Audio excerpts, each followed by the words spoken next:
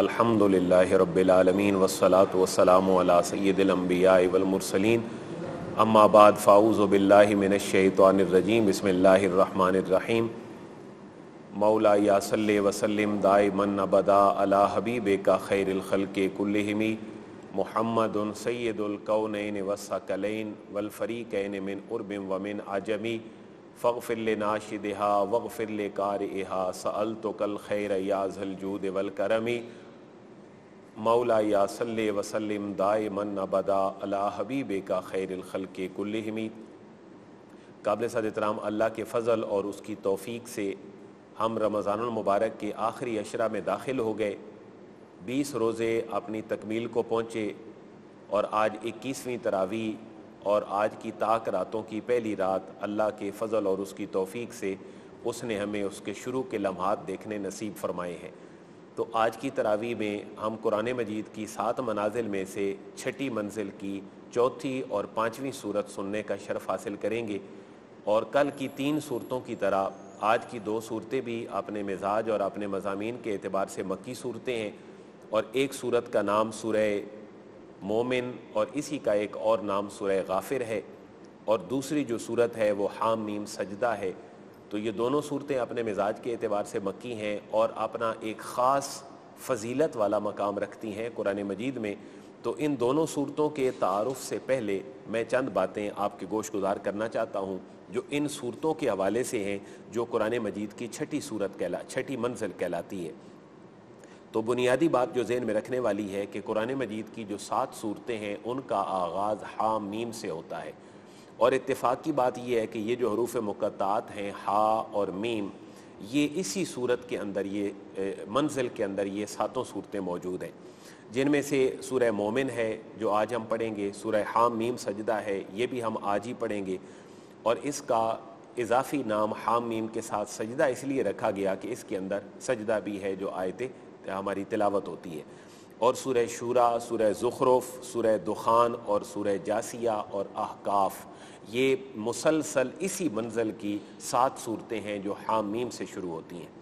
तो ये बड़ी कीमती बात है, इसको ज़रा नोट फरमा लें कि ये जो हामीम से जिन सूरतों का आगाज़ हो रहा है, इन सूरतों की आका करीम सलाम ने खसूसियत के साथ फजीलत बयान फरमाई है।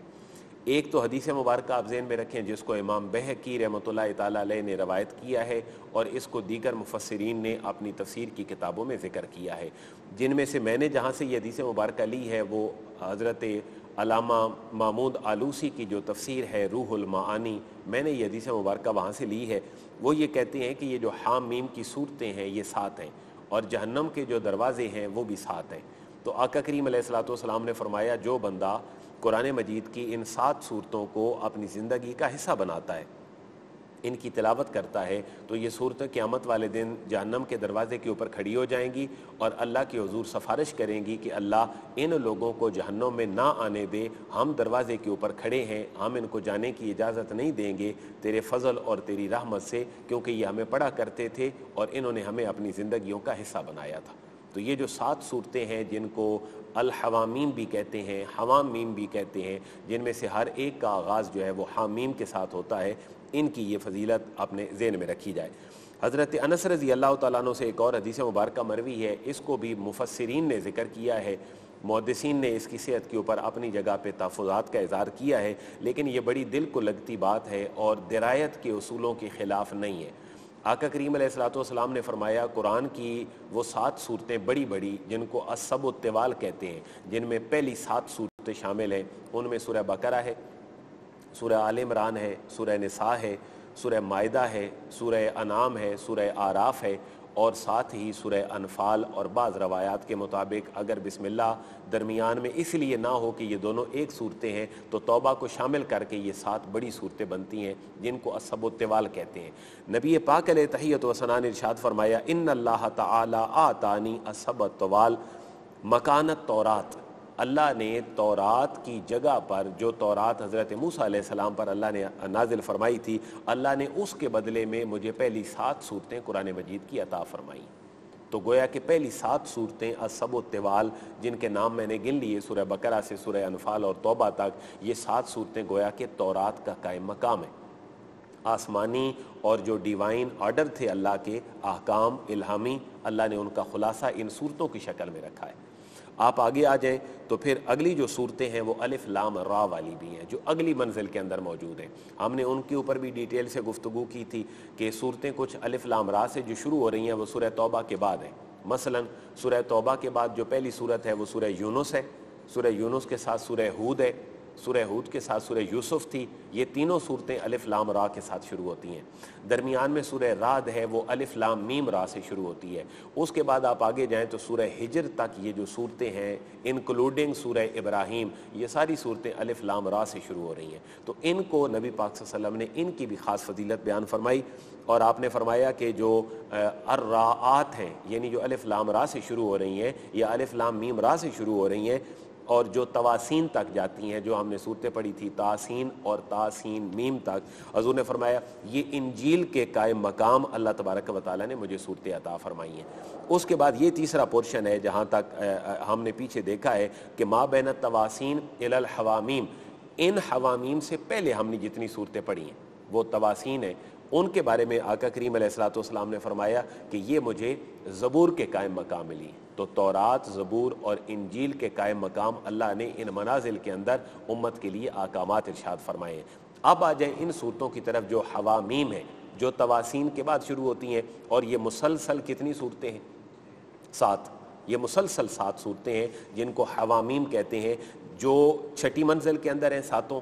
और इससे पहले हम तीन सूरतें पढ़ आए हैं। तो सात और तीन, दस और तीन इन हवामीम के अलावा होंगी। तो इस छठी मंजिल में टोटल तेरह सूरतें थीं, जिनमें से सात सूरतें हवामीम हैं जो हामीम से शुरू होती हैं। तो नबी पाक वसल्लम ने इशाद फरमाया कि वो जो सात थी, वो तो तौरात के कायम मकाम थी। जो अगली थी, वो इंजील के कायम मकाम थी। जो अलिफ लाम रा वाली सूरतें थीं, वो ज़बूर के कायम मकाम थी। और ये जो हवामीम हैं और इनके बाद जो सातवीं मंजिल की पैंसठ सूरतें हैं, जिनको जो है वो मुफसलात कहा जाता है। तो नबी पाक ने फरमाया, ये अल्लाह ने मुझे ख़ास तौर पर बाकी अम्बिया से हट कर ये सूरतें अता फरमाई। तो इन सूरतों की बड़ी ख़ास फजीलत है जो सारी किस से शुरू हो रही हैं? हामीम से। ये जो हामीम वाली सूरतें हैं, ये ज़बूर के कायम मकाम है। और ये इन, अल्लाह ने इनको ज़बूर, तौरात, इंजील से बढ़कर मकाम अता फरमाया ये हदीस मुबारक है। आज के दरस में हमने इसको देखा और सुना है। तो ये सारी की सारी सूरतें इतफ़ाक़ मक्की हैं। हामीम वाली सब सूरतें मक्की हैं। तो एक टूल छोटा सा जहन में रख लें कि जो सूरतें हामीम से शुरू हो रही हैं, वो मोस्टली मक्की हैं। बल्कि अरूफ़ मुकतात से जो शुरू होती हैं, उनमें से मोस्टली मक्की हैं। हाँ कुछ सूरतें मुस्तना हैं। अलिफ्लामीम से बकरा शुरू होती है, मदनी है। अल इमरान शुरू होती है, मदनी है। लेकिन मोस्टली सूरतें ट्वेंटी नाइन में से वो सारी की सारी जो मुकतात वाली हैं, वो मक्की हैं। तो आज की जो सूरतें हैं, इनमें मैंने ज़्यादा फोकस किया है हामीम के ऊपर कि ये सूरतें अल्लाह के हबीब ने फरमाया, मुझे और अगली जो सातवीं मंजिल है, उसकी पैंसठ सूरतें अल्लाह ने मुझे बाकी अम्बिया से बढ़कर ख़जानों के तौर पर अता फरमाई। इन सूरतों के सिलसिले में आज की हमारी पहली सूरत है, सूरह मोमिन। इस सूरत को सूरह गाफिर भी कहा जाता है। और ये दो नुस्खों का जो है वो अपना मिजाज है, जो बरसग़ीर पाक हिंद के नुस्खे हैं कुरान मजीद के, उनके अंदर इसका टाइटल सूरह मोमिन है। और जो अरब दुनिया में छपते हैं, उनमें इसका नाम गाफिर है। तो हदीस में दोनों के नाम मिलते हैं और कुरान के अंदर इसी सूरत में ये दोनों नाम मौजूद हैं, मोमिन भी और गाफिर भी। मोमिन जो है, ये एक हज़रत मूसा सलाम की कौम का बंदा था, जो कि अपने ईमान को जिसने छुपाया हुआ था और जब फ़िरौन के मुकाबले में हज़रत मूसा सलाम उठे तो उस वक़्त इस बंदे ने हज़रत मूसा सलाम का साथ दिया। तो इस वजह से इस पूरी सूरत का नाम ही क्या पड़ गया सूरह मोमिन? और सूरह गाफिर इसलिए कहते हैं कि इसके अंदर अल्लाह तबारक व ताली की जो सिफत है गाफिर गाफिर ज़म, यानी गुनाह को बख्शने वाला, उनकी मफ़रत करने वाला तो ये दोनों नाम जो है वो यहाँ पर मौजूद हैं। तो सूरह मोमिन और गाफिर अगर कहीं तस्करा अलग अलग मिले तो उसमें परेशानी की ज़रूरत नहीं, ये दोनों एक ही सूरत के दो नाम हैं, मोमिन भी और गाफिर भी। मोमिन इकतालीस नंबर आयत में मौजूद है और गाफिर इसकी दो नंबर आयत मुबारक के अंदर मौजूद है। सूरत चूँकि दोनों मक्की हैं तो दोनों के बड़े बड़े मौजूद क्या होंगे जी? इस बात तोहद, रद्द शिरक और तज़कीर बिल मौत व माबादल मौत। नबी पाक वसल्लम को बार बार अल्लाह ने हम अगली सूरत में देखेंगे। फस बिर फस बिर फस बिर वस फिर महबूब सब्र करते रहिए। अल्लाह आपको मंजिल मकसूद तक ज़रूर पहुँचाएगा। और ये जो क्रैश की कौम है, अहल मक्का, जो फ़िलहाल हट धर्मी पे उतर आई है, इसको अल्लाह तोफ़ी देगा कि ये आपके दस्तो बाजू बनेगी। और इसमें कोई शक नहीं कि फिर ये लोग दस्ते बाजू बने। आज आप देखें, मक्का की सरजमीन आबाद है, मदीना तैयबा की सरजमीन आबाद है, हरामैन आबाद है। तो ये अल्लाह के नबी की मेहनत है, जिसका रिवार्ड अल्लाह ने आज उम्मत को अता फरमाया है। तो मोटे मोटे मजामी आप अगर देखें तो इसकी जो पहली छः आयात हैं, उनको मैंने अपने मुताले की बुनियाद पर मुकदमा बनाया है। यानी जितने सूरत के अंदर आकामात थे, उनका मुकदमा अल्लाह ने पहली छः आयात में बयान कर दिया। तो मुकदमे में पाँच छः बातें होती हैं। मसलन, अल्लाह की तोहहीद की बात होती है तो देखें जी, हामीम तो हरूफ मुकतात हो गए। और तनजील किताब मिनल्लाहिल अलीम तो तनजील किताब ये किसका तस्करा है? कुरान का। हर मक्की सूरत के शुरू में अल्लाह ने कुरान के नजूल की बात की है ताकि लोग कुरान की तरफ़ आ जाएँ। और ये नाजिल तो हुई है, लेकिन क्या ये कोई ख़ुद साख्ता किताब है जो नबी वसल्लम ने बना ली? जैसे ओरेंटियलिस्ट और मुस्तशरकिन कहते हैं कि ये जो किताब है, ये हजूर राहिब से मिले थे छोटी उम्र में। तो उसके बाद उन्होंने अपने तखयलात को कंपाइल कर लिया। तो अल्लाह फरमा रहा है, ये तनजील किताब मिनल्लाज़ीज़ अलीम। ये गालिब और इल्म वाले अल्लाह की तरफ़ से नाजिल करदा किताब है। ये ख़ुद बनाई हुई किताब नहीं है। और ये वाद सूरत है जी, जिसकी चंद इब्तदाई चार आयात में ही अल्लाह ने अपनी सात सिफात का तस्करा फरमाया। और अल्लाह ने बड़े जलाल और बड़ी मोहब्बत से इसका तस्करा किया है कि मुझे तुम आम समझते हो। अल्लाह फरमा रहे अल अज़ीज़ मैं गालिब हूँ। अल अलीम मैं जानने वाला हूँ। दूसरी सिर्फ़ तीसरी, गाफिर ज़म, मैं गुनाह बख्शने वाला हूँ। वकाबिल तोब, मैं तोबा कबूल करने वाला हूँ। शदीद लिकाब, मैं बड़े मजबूती से पकड़ने वाला हूँ। और ज़िद तौल, और मैं बड़ा फजल करने में बड़ा जो है वो वसी, जो है वो अपना दस्त कुदरत रखता हूँ। और ला इलाहा इल्ला हूँ ये मेरे अलावा कोई मबूद नहीं है। वह इलमसीर और मेरी तरफ़ ही तुमने लौट के आना है। तो ये वह इलमसीर तक अल्लाह अल अज़ीज़ अल अलीम से अल्लाह ने अपनी सात सिफात का तस्करा कर दिया। और एक हदीस मुबारक भी ज़रा इसके ऊपर आप समात फरमा लें, इसको ज़रा पल्ले बाँध लें कि ये जो हदीस मुबारक है, इसको इमाम तिरमजी ने ज़िक्र किया है। इमाम तिरमजी की हदीस नंबर है मौजूदा नुस्खों के मुताबिक इंटरनेशनल नंबरिंग में दो हज़ार आठ सौ उनासी, टू एट सेवन नाइन। और इसके अंदर हज़रत अबू ररा से रवायत है कि आका करीम सलाम ने इशाद फरमाया, जिस शख्स ने सुबह उठ कर आयतल कुर्सी और इस सूरत की हामीम से लेकर एल मसीर तक तीन आयात पढ़ी, उसकी सुबह से शाम तक अल्लाह की तरफ़ से हिफाजत की जाएगी और जिसने इनको शाम में पढ़ा, उसकी सुबह तक हिफाजत की जाएगी। तो आयतल कुर्सी और इसकी पहली तीन आयात, ये सही हदीस मुबारक है, इमाम तिरमी ने ज़िक्र किया है और मैंने इसका नंबर आपके सामने रख लिया है, two eight seven nine.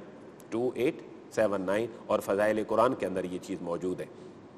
और जो हवामीम का मोटा मोटा तस्करा था, उसमें ये एक और बात जेन में रखने वाली है कि हज़रत इबन अब्बास रज़ी अल्लाह तु से रवायत है कि हर चीज़ का एक मगज़ होता है और कुरान मजीद का जो मगज़ है, वो ये हवामीम वाली सात सूरतें हैं।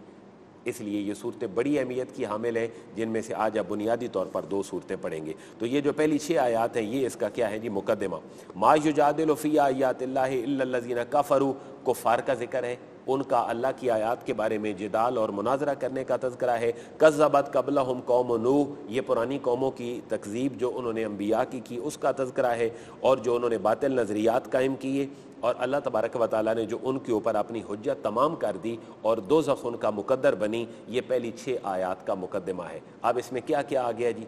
अल्लाह, कुरान का ज़िक्र आ गया। तोहहीद का ज़िक्र आ गया, मुनकरीन के बुरे अंजाम का ज़िक्र आ गया और दो का ज़िक्र आ गया और रसूलों की रसालत का ज़िक्र आ गया। अल्लाह ने छः आयात में पूरा मुकदमा बयान करके पूरी सूरत की तरफ़ इशारा फरमा दिया है। अगली जो सात और आठ और नौ, तीन आयात हैं, इनके अंदर अहल मक्का के एक ख़ुद साख्ता नज़रिए की मजम्मत बयान की जा रही है। और वो ख़ुद साख्ता नज़रिया क्या था?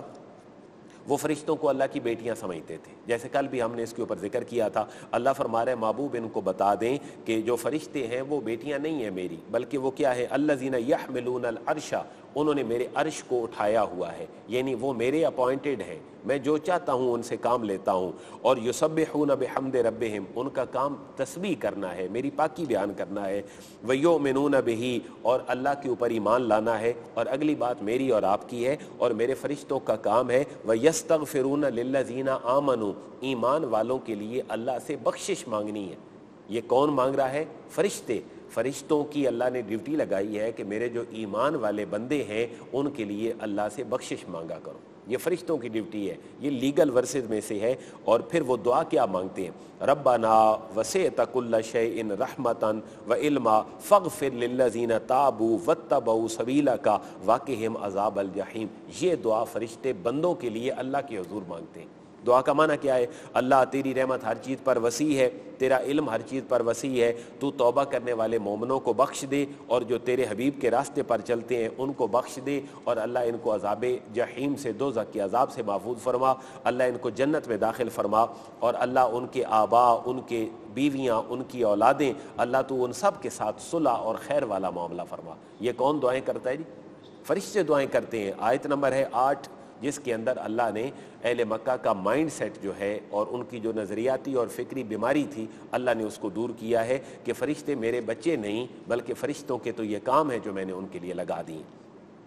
उसके बाद आयत नंबर 10 से लेकर 20 तक अल्लाह ने कुफ़ार और मुशरकिन के साथ मुखासमा किया है डिबेट की है और वो उनको नबी पाक वसल्लम की ज़ुबान में अकायद हक्का समझाने की कोशिश की है। मसलन उनका अकीदा ये था कि मरने के बाद दोबारा की जो ज़िंदगी है, ये पॉसिबल नहीं। एक हड्डियाँ कैसे ज़िंदा हो सकती हैं इंसान की? तो उनको कहा जा रहा है कि जितने क़्यामत वाले दिन तुम अल्लाह से बेजार होगे, अल्लाह इतना ही तुमसे ज़्यादा बेजार होगा। और तुम फिर अल्लाह की हजूर ये शिकवा करोगे, अल्लाह तूने हमें दो मौतें दी हैं और दो ज़िंदगियाँ दी हैं, अब हम और कितनी ज़िल्लत उठाएँ? दो मौतें क्या होंगी?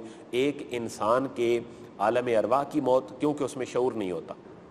और फिर कब्र की जो मौत है वो, और ज़िंदगी एक वो जो अब में दी है, और एक वो जो अजाब मुरतब होगा या सवाब तो अल्लाह ज़िंदगी देगा। तो बंदे को मौतें भी दो मिलती हैं और बंदे को ज़िंदगियाँ भी दो मिलती हैं। फिर अल्लाह तबारक व ताली ने इस मशरकिन और कुफ़ार के ख़िलाफ़ जो, साथ जो डिबेट है, अल्लाह ने उसमें अपनी कुदरत का इजहार किया है। और वो कुदरत क्या है कि मैं आसमान से तुम्हारे लिए रिज्क नाजिल करता हूँ और मैं जो है वो बड़ा रफ़ी दराजात हूँ, मैं अर्श वाला हूँ और मैं सारे कामों को बेहतर मैनेज करता हूँ। लेमन लेमनिल मुल्कुल यौम लाहिल कहार। और जो मुनकरीन की बेबसी होगी क़्यामत वाले दिन, अल्लाह उसको बड़े सादा से अल्फाज में बयान फरमा रहे हैं। आयत नंबर बीस से लेकर, आयत नंबर 45 तक, ये जो तकरीबन 26 आयत बन जाती हैं इंक्लूडिंग 20 नंबर आयत से 45 तक, अल्लाह ने इसमें सबका अम्बिया का तस्करा किया है। उनकी अकवाम के ज़िमन में एक मर्द मोमिन का तस्करा है, जिसकी वजह से सूरत का नाम ही सूर मोमिन है।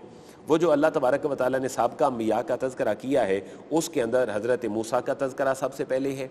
उसके बाद हज़रत हारून सलाम के का तस्करा है, उनके मद्द मुकाबिल जो है फ़िरौन, हामान और कारून। हम इन तीनों के बारे में पढ़ चुके हैं। कारून आप समझ लें, फ़िरौन का वज़ी ख़जाना था और हामान जो है, ये फ़िरौन का समझ लें, आप पॉलिसी मेकर था। उसकी कैबिनेट का बड़ा ख़ास बंदा था। पिछली दो सूरतों में मुसलसल इनका तस्करा गुजरा है तो उन्होंने पहले तो ये कह दिया कि ये जो मूसा है साहिर उनका कज़ाब माजल्ला ये जादूगर और झूठा आदमी है। तो अल्लाह अपने हबीब के सामने इस तरह के जो वाहयातियाँ हैं, मुनकरीन रसालत की, उनको बयान करके अपने हबीब को तसली दे रहे हैं। फिर फ़िरौन की और जो बातें हैं, वाहियात, उनको ज़िक्र किया गया है और बिटवीन द लाइन, एक किबती कौम के फ़र्द का तस्करा किया गया है कि जो फ़िरौन के मुकाबले में हज़रत मूसा के साथ उठ खड़ा हुआ। उसने, कुरान के अल्फाज हैं कि वो वकाला रजुल मोमिन वो मोमिन आदमी था, मिन आल फ़िर और वो फ़िरौन की आल से था, यानी मिस्री था, किबती था और फ़िरौन के ख़ानदान में से था। कुछ मुफसरी ने लिखा है कि वो चचा का बेटा था, फ़िरौन का। यक तो मो ईमान हो जिसने अपने ईमान को छुपाया हुआ था, यानी हालात के तकाजे के पेश नज़र उसने अपना ईमान जो है वो लोगों के सामने ज़ाहिर नहीं किया था। तो हज़रत मूसा सलाम के कत्ल का जब हुक्म जारी किया फ़िरौन ने तो वो शख्स उठ खड़ा हुआ, उसने अपनी कौम को समझाया और नबी का साथ दिया। तो ये पूरी जो आयात हैं ये उ, उ, उसी के तस्करे के ऊपर हैं। उसने क़्यामत का तस्करा किया इनके सामने। कौम नू और कौम आद और कौम समूद की जो नाफरमानियाँ थीं उस बंदे ने कौम मूसा के सामने उनका तस्करा किया। तो अल्लाह अपने हबीब और अपने हबीब के ग़ुलामों और अहल मक्का को बताना चाहता है कि अबू जहल के दरमियान और अबू लहब के दरमियान से बंद मोमिन भी ऐसे निकलते हैं जो अल्लाह के नबियों का साथ देते हैं। जैसे साहब कराम नबी पाक वसल्लम पे फ़िदा हुए अहल बैत अथार की कुर्बानियाँ थीं आका करीम सलाम के लिए। वो जो मोमिन था आल फ़िरौन का, उसने हज़रत यूसुफ़ सलाम का तस्करा भी किया और सबका जो कौमों का तकबर और गुरूर था और उनकी अल्लाह से बेजारी थी, उनका तस्करा भी किया और फिर उसके ज़मन में हामान और फ़िरौन का तस्करा भी किया। तो ये तकरीबन छब्बीस आयात मुबारक के ऊपर ये जो तस्करा है अम्बिया का, सबका अकवाम का और मर्द मोमिन का उसके ऊपर कोई कुरान की आयत मौजूद नहीं है कि मर्द मोमिन का नाम क्या था। कोई हदीस मुबारक भी ऐसी नहीं मिलती कि जिसमें उस बंदे का नाम लिखा हुआ हो। कुरान ने उसको क्या कहा? मोमिन। इसी वजह से सूरत का नाम ही सूरह मोमिन है। मुफसरीन ने अपने तौर पर उसको ट्रेस किया तो मुफसरीन ने उसका नाम जो है, वो शम आन ज़िक्र किया है। बाज़ ने और भी ज़िक्र किया है नाम, लेकिन मुफसरीन ने उसका नाम शम आन ज़िक्र किया है। आयत नंबर त्रिप, यहाँ पर एक मोकम आयत है, लीगल वर्स है, उसको भी ज़रा जेन में रख लें, और वो है इसकी आयत नंबर 46 46 में ये है कि जो अजाब कबर है, वो हक है। उम्मत मुस्लिमा के अंदर कुछ ग्रोह ऐसे हैं जो कबर की ज़िंदगी के ही कायल नहीं।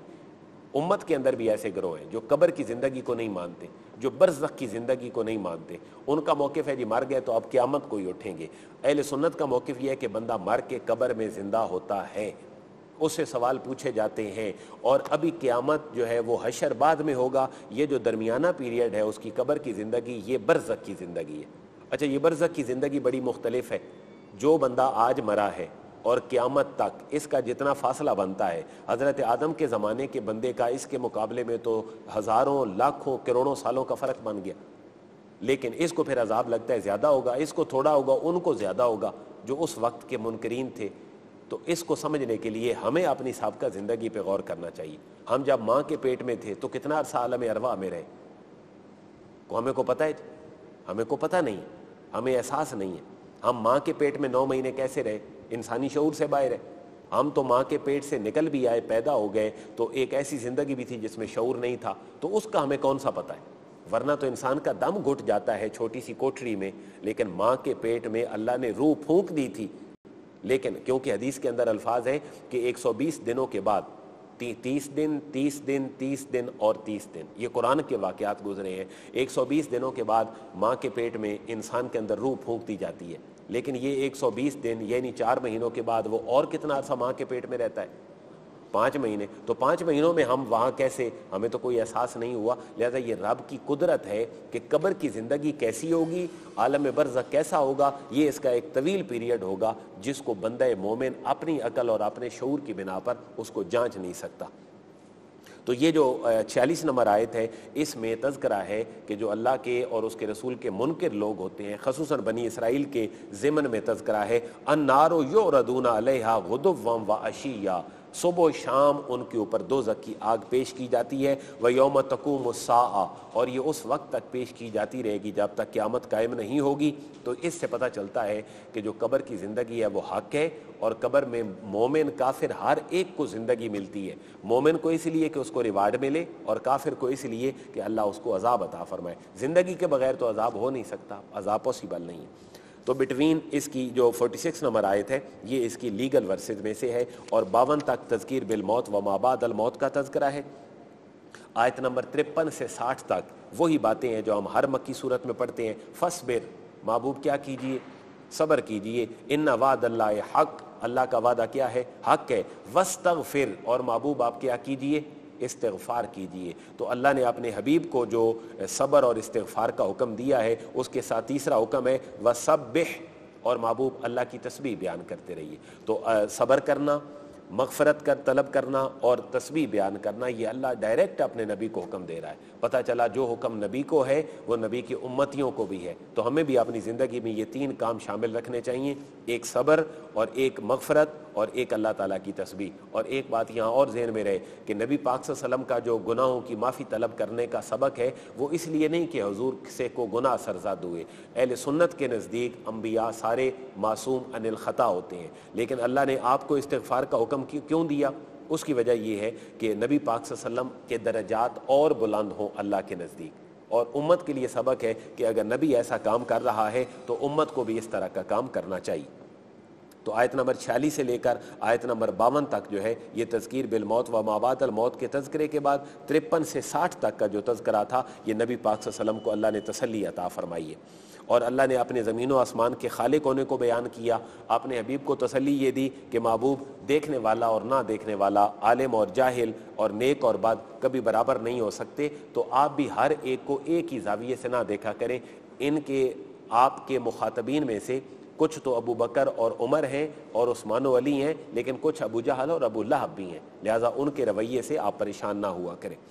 उसके बाद आयत नंबर इकसठ से लेकर आयत नंबर अड़सठ तक अल्लाह ने तख्लीक कायनात को बयान किया और अपनी कुदरत को बयान किया और अल मक्का को झंझोड़ा कि ये जो तुम कुछ खजूरों के दरख्त देख लेते हो, या कुछ धूप दिन को ताप लेते हो, या रात को चाँद की चांदनी देख लेते हो, या कुछ चश्मा और अपनी ज़िंदगी का जो दारो मदार है जिन चीज़ों पर, अगर ये तुम्हें अवेलेबल है तो ये ख़ास किसने दी हैं? अल्लाह ने दी हैं। तो ये सारी बातें अल्लाह ने इन्हीं आयात में बयान फरमाई हैं और हज़रत इंसान को बेहतरीन शक्ल देना और उसको रिज के हलाल देना और उसके बाद बाकायदा अल्फाज में ओवल्लजी खाला का मिन तुराब हज़रत इंसान तुझे मिट्टी से पैदा किया, फिर नुतफ़ा से, फिर अलका से, फिर सुम युखरे जो कुम तिफला, फिर तुम्हें छोटा बच्चा बना दिया सुम ले तबल हुआ शुद्धा कुम फिर तुम्हें बालिग बना दिया सुम ले तकून शुयूखा, फिर तुम्हें शेख साहब बना दिया यानी तुम कौन हो गए? बूढ़े हो गए। व मिन को मई तवफ़ा मिन कबल, और कोई बुढ़ापे से पहले फौत हो गया, वाले तब लहू आजल मुसम्मा, और कोई अपनी मुकर्रा मुदत तक पहुँच गया। ये सिर्फ़ इसलिए है लाकुम ताकि लोन ताकि तुम को अकल इस्तेमाल करो, कुछ शूर इस्तेमाल करो, तुम्हारी ज़िंदगी के फेजेस बदलें तो तुम्हें अल्लाह की याद आए। ये आयत नंबर है सिक्सटी सेवन और फिर इतना ही नहीं हुआ, होवल्लजी युखी व उमीद वही है जो ज़िंदगी देता है, वही है जो मौत देता है और उसकी कुदरत तो ये है कि जब वो कौन फरमाता है तो चीज़ें हो जाती हैं। तो ये सारा तस्करा आयत नंबर इकसठ से लेकर आयत नंबर अड़सठ तक है, जिसमें अल्लाह ने अपनी कुदरत का इजहार करके और अहल मक्का को जो बड़े फसी व बलीग थे, उनको अपने करीब लाने की कोशिश की है। साथ ही फिर अल्लाह ने जन्नत और जहनम का तस्करा भी कर दिया। यहाँ जो इसकी आयत नंबर 69 से लेकर 85 तक। ये इसका अख्तामी खुतबा है अख्तामी खुतबे का जो आगाज़ है वो अल्लाह तबारक व ताली अपने हबीब करीम को सब्र के साथ फरमा रहा है फस बिर इन नवाद हक महबूब आप क्या कीजिए सब्र कीजिए और अल्लाह का वादा होकर रहने वाला है। अच्छा सबर नबी पाक वसल्लम पे करने का क्या हुक्म है? उसकी वजह यह है कि अहल मक्का नबी पाक वसल्लम की तबलीग के बाद उनको कहते थे कि आपने जो अजाब लाना है वो ले आओ।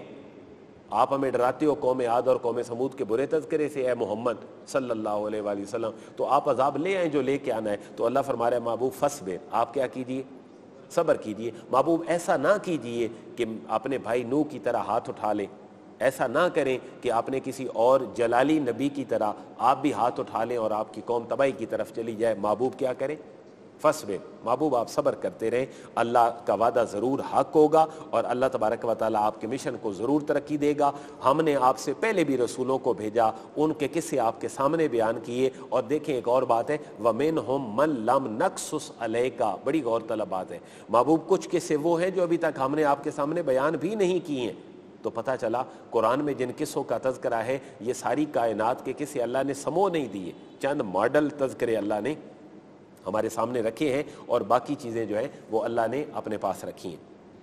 तो ये इसका अख्तामी खुतबा चल रहा है, जिसमें अल्लाह की मजीद कुदरत पे अकली दलाइल हैं, क्योंकि अहल मक्का की जो मीशत थी, उसका इसार जो है वो जानवरों पे भी था। जैसे बकरियाँ चराना हर नबी का जो है वो तरीका रहा, उस इलाके में ऊँट होते थे तो अल्लाह ने उनको इसी चीज़ के अंदर गौर फ़िक्र करके अपनी तरह बुलाने की कोशिश की, भाई अल्लाह वो है, अगर समझ नहीं आ रही तो अल्लाह वो है जिसने जानवर पैदा किए जिनके ऊपर तुम सवार होते हो, जिनसे तुम खाते हो और जिनसे तुम और मुनाफे लेते हो। और ये जो तुम्हारे सफ़र के लिए तुम्हारी चीज़ें काम आती हैं, ये सारी उसी ने पैदा की हैं, जो, जिसको अल्लाह कहते हैं और इसी की तरह मेरा हबीब तुम्हें बुला रहा है।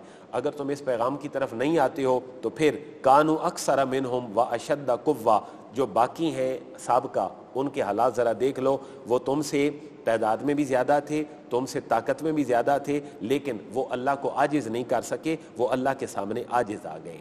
और फिर महबूब इनको बता दें कि एक वक्त वो भी आएगा कि इनका ईमान इनको नफ़ा भी नहीं दे सकेगा। ये बात भी बड़ी गौर तलब है कि ईमान लाने की बार बार अल्लाह और उसका रसूल तनकीन कर रहे हैं।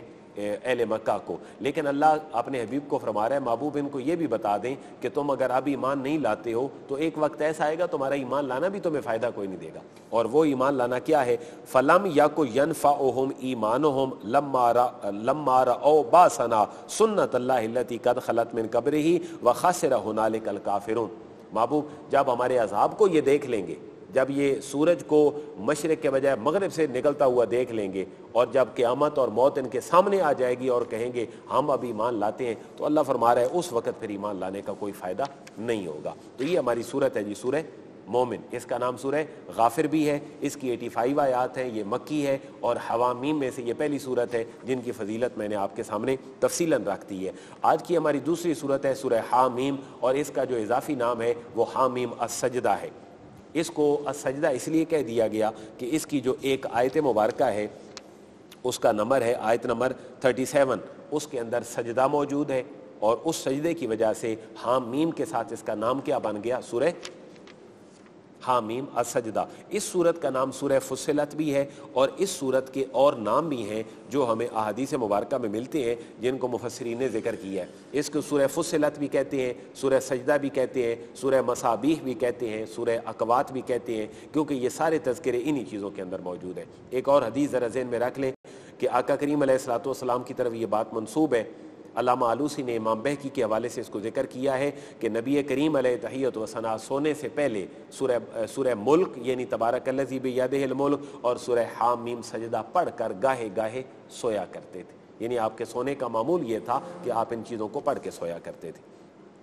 अगर इसके हम मोटे मोटे मजामी देखें तो इसकी आयत नंबर एक से लेकर तेरह तक इसका मुकदमा है। इसकी तेरह आयात को गोया कि अल्लाह ने एक प्रीफेस के तौर पर ज़िक्र किया है कि बाकी आने वाली चीज़ें बाद में होंगी। इसके अंदर भी वही बात है, हामीम तनजीलुम मिनर रहमान रहीम। ये जो कुरान है, ये रहमान रहीम अल्लाह ने नाजिल किया है। ये ऐसी किताब है जिसकी जो आयात हैं, ये बड़ी तफसीला बयान कर दी गई हैं और ये कुरान है, ये अरबी ज़ुबान में नाजिल हुआ है और इसकी अरबी की तासीर लो और उस कौम के लिए है जो इसमें गौर फ़िक्र कई ख्वाहिश रखती है और मेरा हबीब अपनी बशरीत के लिबादे में बशीर व नज़ीर बनाकर मैंने भेजा है और मेरा महबूब अपने से कोई भी बात नहीं करता, सिवाय इसके कि जो मैं उसकी तरफ़ वही कर देता हूँ। ईमान वालों का तस्करा है आमाल साले का तस्करा है, उनके अच्छे अंजाम का तस्करा है, अल्लाह की कुदरत का तस्करा है, अल्लाह की बरकतों का तस्करा है, अल्लाह तबारक व ताली ने ज़मीन व आसमान जो बनाए, उनका तस्करा है और जो इनके अंदर अल्लाह ने एक